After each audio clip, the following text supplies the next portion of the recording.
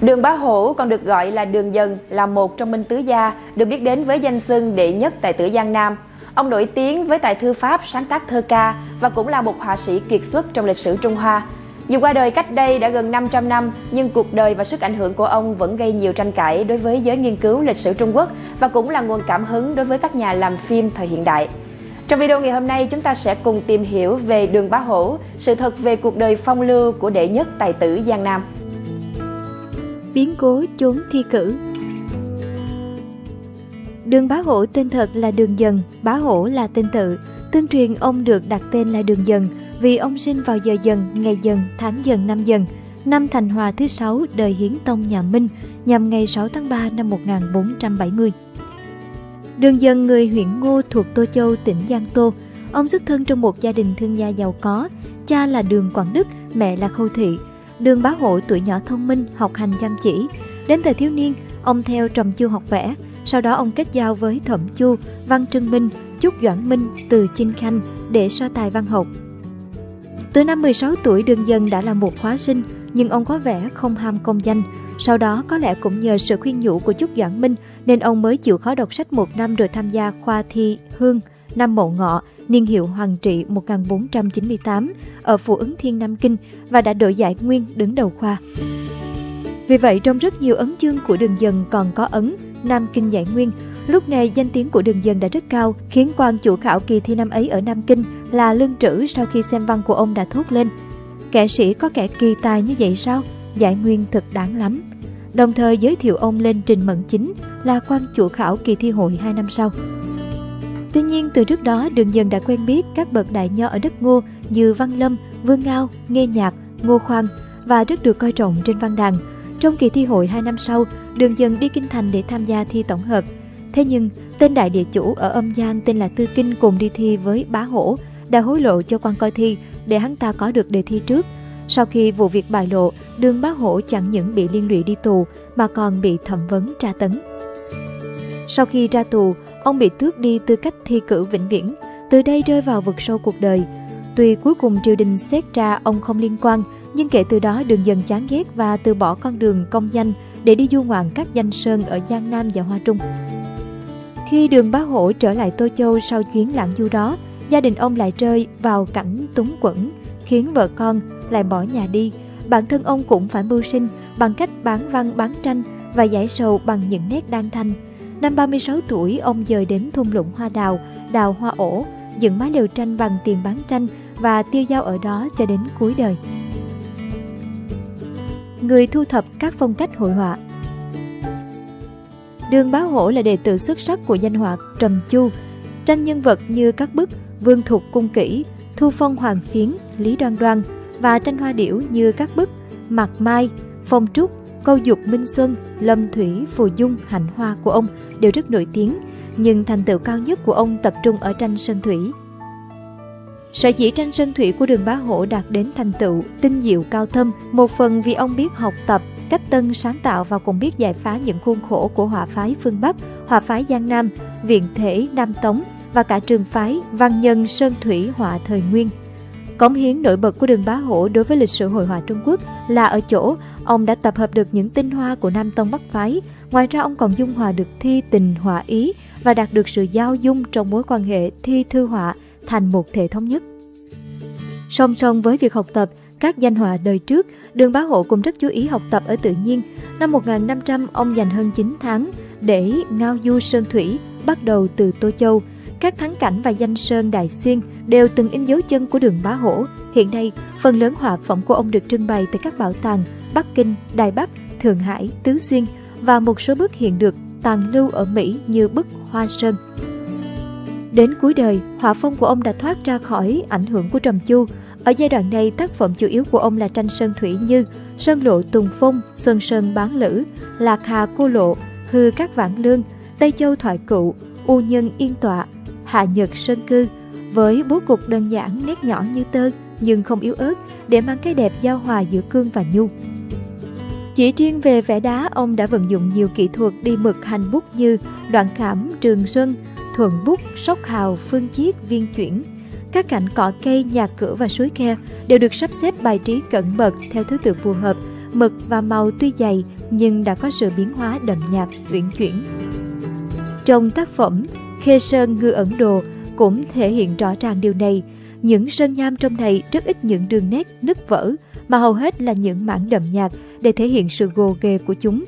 Qua những tảng sơn nham này, ta có thể thấy công phu thâm hậu trong hội họa của đường dần. Không chỉ họa mà thư pháp của đường Bá Hổ cũng rất được ưa chuộng. Ngoài ra ông còn là một đại thi nhân của nhà Minh với những tác phẩm nổi tiếng như Bách Nhẫn Ca, Giang Nam Tứ Quý Ca hay Đào Hoa Am Ca. Phần lớn những tác phẩm của ông đều là du ký, đề họa, thể hiện sự ngạo nghễ và cuồng phóng, song ngôn ngữ lại rất giản dị và dễ hiểu. Các bạn đang xem video trên kênh Người Nổi Tiếng, đừng quên là hãy ghé thăm kênh mới của nhóm chuyên tổng hợp video về người thành công và thông tin chi tiết xem bên dưới comment nhé các bạn. Gắn liền hai chữ phong lưu Giáo sư Tôn Đơn Lâm phân tích trong chương trình Bách gia giảng đàn của đài CCTV về cuộc đời của đường bá hổ gắn liền với hai chữ phong lưu. Ông Tôn nói, bất luận đương thời hay hiện tại, người đời bàn luận về ông có cả tốt lẫn xấu. Nhà nghiên cứu này cho rằng Đường Bá Hổ là nhân vật phong lưu, dựa vào những yếu tố nhà thơ này là nhân vật kiệt xuất trong thời đại ông, đạt thành tựu trực trở trong thi ca, hội họa và thư pháp. Mặt khác, ông tài hoa, song không gò bó về lễ nghi phép tắc mà nổi loạn tiêu dao. Yếu tố còn lại là Đường Bá Hổ có những mối quan hệ nam nữ không đứng đắn, khi ông thường mua vui ở lầu xanh. Chuyện Đường Bá Hổ đắm chìm chốn thanh lâu từng được bạn của ông là Văn Trương Minh, một trong giang nam tứ đại tài tử, ám chỉ trong hai câu thơ của bài Nguyệt dạ đăng nam lâu, hữu hoài, đường tự úy.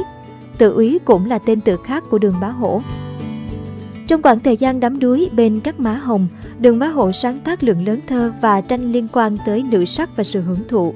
Những câu chuyện trong dân gian về cuộc sống tình ái phong phú của đường bá hổ cũng bắt nguồn từ đây, trong đó có chuyện Đường bá hổ điểm thu hương. Một số nhà nghiên cứu cho rằng Đường Bá Hổ mời kỹ nữ nhân tình của ông làm người mẫu cho tranh Xuân Cung Họa. Loại tranh có chủ đề quan hệ tình dục. Điều này có liên quan đến thói quen trong cuộc sống của ông và đây cũng là một biểu hiện về tính cách phong lưu bất kham của đường Bá Hổ. Thậm chí đây chính là sự phản ánh mang tính châm biếm đối với sự hủ bại của quan trường, mặt trái trong xã hội và lễ giáo phong kiến thời bấy giờ. Các bức họa phụ nữ do đường dần vẽ có mạnh cung thục kỷ đồ, ban cơ đoàn phiến đồ, thường Nga bôn nguyệt đồ, nhưng bức họa khổ lớn, bí hí đồ của ông đến nay đã không còn tìm thấy, chỉ còn để lại vài bài thơ của người đời Thanh viết về Xuân Cung Họa của Đường Dần được để lại trong các điện tích. Chỉ tiếc là Xuân Cung Họa của Đường Dần đã thất lạc từ lâu, chỉ còn lại các bản sao chép của Thoái Thực Nhàn Yến, Cạnh Xuân Đột Quyển, Hoa Trận Lục Kỳ, trong số đó nổi tiếng nhất là quyển Phong Lưu Tuyệt Sướng Đồ, có tất cả 24 bức vẽ. Theo các họa sĩ chuyên nghiệp và nhà giám định phân tích, các nhân vật nữ mà đường dần vẽ thường có một đặc điểm nổi bật chính là tam bạch, tức là trước trán một chấm trắng, trên mũi một chấm trắng và dưới cằm một chấm trắng. Đây thường là tiêu chuẩn để người đời sau giám định phân biệt thật giả cho họa của đường dần. Quan điểm thông thường cho rằng thời cổ đại Trung Quốc chịu sự trói buộc và giam cầm của lễ giáo phong kiến, nghệ thuật vẽ cơ thể người không phát triển, thậm chí bị bỏ sót. Đều bởi thời phong kiến cấm vẽ loại thể, vì vậy, Xuân Cung Họa của Trung Quốc thời xưa phần lớn đều không có giá trị cao. Đường Bá Hổ có bao nhiêu vợ? Một tranh cãi khác về đường Bá Hổ là ông có bao nhiêu người vợ, có phải 9 người như dân gian lưu truyền và trong một số phim ảnh hay không? Theo Sohu, nhà thơ có ba người vợ, người đầu tiên mất sớm, người thứ hai bị ông bỏ, người thứ ba là Thẩm Cửu Nương. Chính vì vợ thứ ba có tên là Cửu Nương mà người đời tưởng lầm ông có chín bà vợ. Tình cảm của Đường Bá Hổ với người vợ đầu tiên sâu nặng. Khi bà chết trẻ, ông viết thơ điếu bày tỏ sự đau đớn tột cùng. Thời trẻ, Đường Bá Hổ ung dung tự tại, coi nhẹ quyền uy. Cuối đời, ông ngồi ra những lý lẽ sâu sắc, đặc biệt là bài Bá Hổ tự tán, để thể hiện chiêm nghiệm về cuộc sống. Bình tĩnh khi gặp nguy Đường Bá Hổ đến tuổi già vẫn được Ninh Vương trọng dụng, mời làm phụ tá của Vương Phủ. Sau một thời gian làm việc trong Vương Phủ, Đường Bá Hộ phát hiện Ninh Vương câu kết với rất nhiều giang hồ, hơn nữa còn tự mình thiết lập binh lính. Biết là có vấn đề, ông không hỏi Ninh Vương, cũng không tiết lộ ra ngoài, mà lặng lẽ quan sát và xác thực thông tin. Cuối cùng ông đã biết được Ninh Vương có âm mưu tạo phản đoạt ngai vàng. Đường Bá Hổ bình tĩnh trong hiểm cảnh giả ngây ngô khiến Ninh Vương không còn trọng dụng nữa. Nhờ đó mà ông có thể thoát khỏi vương phủ. Cuối cùng, tất cả lực lượng của Ninh Vương đều bị quân triều đình tiêu diệt hoặc bắt sống. Cả nhà Ninh Vương ở Vương Phủ bị vua Vũ Tông xử tử, riêng Ninh Vương tự sát trong ngục. Vào những năm cuối đời, đường bá hộ tín ngưỡng Phật giáo, ông từng làm thơ tự trách mình rằng đại trượng phu không mang công danh cũng nên khẳng khái mạnh khỏe, rồi khắc con dấu truyện, tự phong mình là tài tử phong lưu đệ nhất Giang Nam. Trước khi lâm chung, ông viết những câu tuyệt tác. Sinh tại Dương Giang hữu tản trường, tử quy địa phủ hậu hà phương, Dương Giang địa phủ câu tương tự, chỉ đương phiêu lưu tại dị hương. Tức là cuộc sống ở Dương Giang ắt có lúc tàn, chết về địa phủ thì đã làm sao? Dương Giang địa phủ như nhau cả, coi như một cuộc phiêu lưu ở chốn khác. Đường Bá Hổ có cái chết chỉ là một lần rời quê cũ. Những lời thơ cuối cùng của ông thể hiện sự phóng đạt siêu phàm trong tâm hồn của một con người tài hoa, khoáng đạt và không bao giờ chịu khuất phục. Năm 1524, Đường Bá Hổ lâm bệnh và mất ở Đào Hoa Am trong thung lũng Hoa Đào. Như ước nguyện lúc sinh thời, ông để lại bài Đào Hoa Am ca muôn đời bất hủ. Cảm ơn bạn đã xem video trên kênh Người Nổi Tiếng. Đừng quên là hãy nhấn nút đăng ký và xem thêm những video mới để ủng hộ nhóm nhé.